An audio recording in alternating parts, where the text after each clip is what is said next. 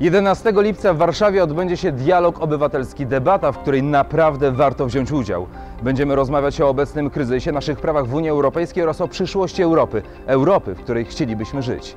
Każdy z tych tematów jest równie istotny. Każdy zapewne wywoła ożywioną dyskusję, padnie wiele ciekawych pytań.